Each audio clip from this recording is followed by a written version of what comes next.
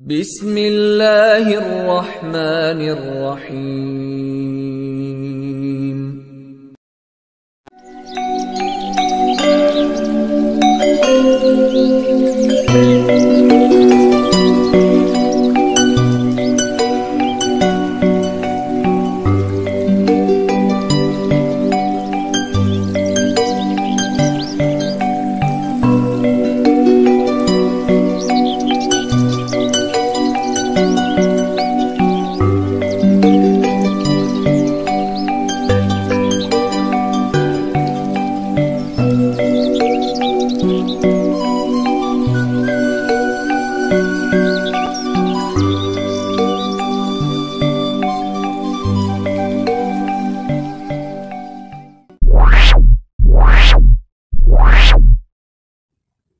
الله الرحمن الرحيم السلام عليكم ورحمة الله وبركاته الحمد لله رب العالمين والصلاة والسلام على أشرف الأنبياء والمرسلين سيدنا ومولانا محمد وعلى آله ajma'in.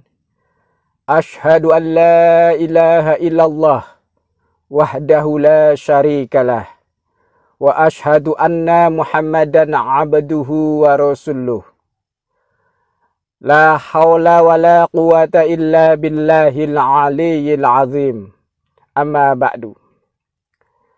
Salam persaudaraan dan cinta damai untuk saudaraku dan sahabatku yang masih setia di channel Abah Raffi Cirebon. Wabil khusus untuk keluarga besar Al-Kafi Abah Raffi Cirebon di mana pun berada. Salam bahagia, salam sehat, salam sukses, salam selamat untuk kita semua. Puji dan syukur kehadirat Allah Subhanahu wa taala yang telah memberikan taufik dan hidayahnya serta nikmat yang sempurna untuk kita yaitu nafas kehidupan ini dan juga nikmat-nikmat yang lain rahmat dan salam Semoga Allah limpahkan kepada junjungan kita Nabi besar, Nabi yang mulia, Nabi Muhammad Sallallahu Alaihi Wasallam, keluarga dan para sahabat semuanya. Semoga Allah senantiasa memberikan kita semua kesehatan lahir batin, berkah panjang umur, berkah rezeki, berkah usahanya, lancar, maju berkembang, dan sukses. Dan kita semua tetap iman Islam, tetap bisa istiqomah untuk beramal dan beribadah. Tetap dalam perlindungan, pertolongan, dan keselamatan lahir batin dari segala mara bahaya, bencana, malapetaka, dan fitnah dunia wal akhirah. Dan segala hajat maksud kita, tujuan kita, doa-doa kita dikabulkan oleh Allah Subhanahu wa taala. Amin ya rabbal alamin. Saudaraku dan sahabatku, seperti biasa untuk mengawali perjumpaan kita pada kesempatan kali ini Harap jangan di skip video saya. Marilah kita bersama-sama untuk membaca solawat Ibrahimiyah. Semoga Allah meridoi, memberikan berkah dan syafaat Rasulullah Sallallahu Alaihi Wasallam untuk kita semua. Bismillahirrahmanirrahim. Inna Allaha wa malaikatahu yusalluna 'alan nabi ya ayyuhalladzina amanu sallu 'alaihi wa sallimu taslima Allahumma salli ala sayyidina Muhammad وعلى آل سيدنا محمد كما صليت على سيدنا إبراهيم وعلى آل سيدنا إبراهيم وبارك على سيدنا محمد وعلى آل سيدنا محمد كما باركت على سيدنا إبراهيم وعلى آل سيدنا إبراهيم في العالمين innaka hamidum majid. Saudaraku dan sahabatku, izinkan saya pada kesempatan yang berbahagia ini untuk berbagi pengetahuan. Semoga Allah meridhoi dan apa yang saya bagikan ini bisa bermanfaat untuk kita semua. Manfaat di dunia dan manfaat untuk di akhirat. Yang saya bagikan pada kesempatan ini sekaligus saya mengizazakan kepada saudara dan sahabatku semua yang mau mengamalkan dengan rutin ataupun istiqomah setiap hari. Insya Allah, amalan ini faidah dan keutamaannya, khasiat ataupun hikmahnya sangat luar biasa. Khususnya untuk menarik atau mengumpulkan harta dari segala penjuru ataupun dari segala arah. Tapi ingat saudaraku dan sahabatku, tetap kita harus bekerja dan berusaha. Ini adalah sebuah ikhtiar, sebuah usaha batin. Usaha lahirnya kita harus melakukannya. Jadi kedua-duanya berjalan bersama, yaitu usaha dan doa. Setelah kita mengamalkan ini, kita pasrahkan urusan sama Allah. Hasilnya kita pasrahkan. Saudaraku dan sahabatku, yang saya berikan adalah surah Ali Imran ayat 9. Ini memang banyak sekali versi ataupun tata caranya. Ada yang dibaca seribu kali, ada yang dibaca lima belas ribu kali, ada yang dibaca tiga puluh kali. Pokoknya banyak versinya. Tapi yang saya berikan kali ini adalah versi yang paling mudah menurut saya. Tapi jangan salah, kalau kita rutin mengamalkannya, insya Allah khasiatnya sangat luar biasa. Saudaraku dan sahabatku semua akan heran dan terkejut ataupun kaget.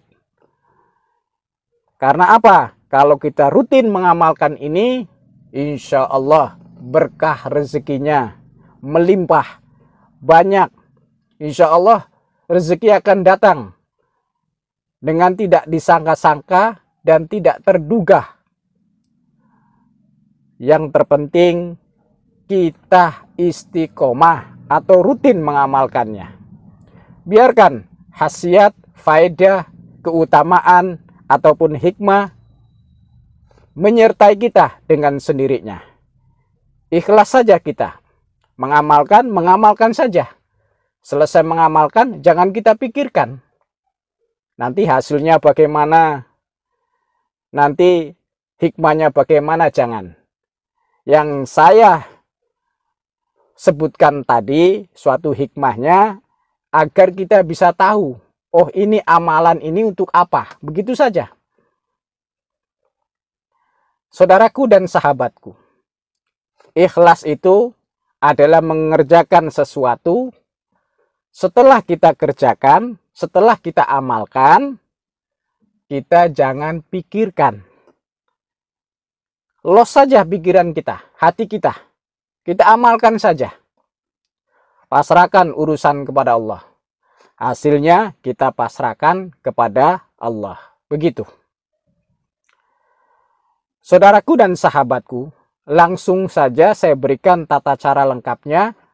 Harap saudaraku dan sahabatku menyimak video saya sampai selesai agar tidak gagal faham ataupun salah faham.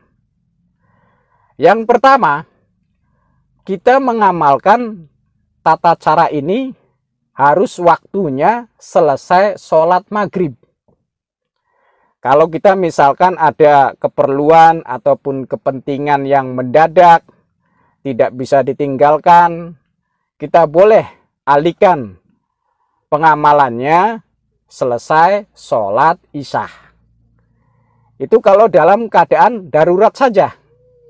Tapi kalau kita masih bisa, usahakan kita mengamalkannya setelah sholat maghrib. Saudaraku dan sahabatku semua, setelah sholat maghrib, kita misalkan ada wirid yang lain, amalan yang lain, boleh kita amalkan dulu. Ataupun kita langsung mengamalkan ilmu ini atau amalan ini boleh. Yang penting waktunya setelah sholat maghrib. Kita baca yang pertama, ta'ud dulu A'udzu billahi satu kali. Lalu kita baca basmalah Bismillahirrahmanirrahim. Itu untuk mengawali saja. Lalu kita langsung membaca surah Ali Imran ayat 9 yang berbunyi Rabbana innaka jami'un nasi liyaumil la raiba fih innallaha la yukhliful mi'ad itu dibaca 500 kali. Jangan kurang, jangan lebih. Bacanya 500 kali. Setelah selesai, lalu kita lanjutkan membaca solawat umi. Berikut ini bunyi daripada solawat uminya. Allahumma salli ala sayyidina Muhammadin abdika wa nabiyika wa rasulikan nabiyil ummiyi wa ala alihi wa sahbihi wa sallim. Itu kita baca sebanyak 100 kali. Setelah selesai, lalu kita berdoa kepada Allah.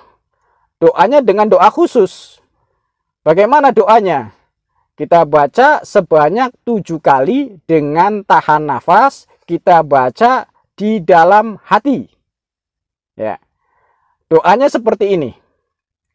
Allahumma ijma' baini wa bainal malil khasir. Itu doanya.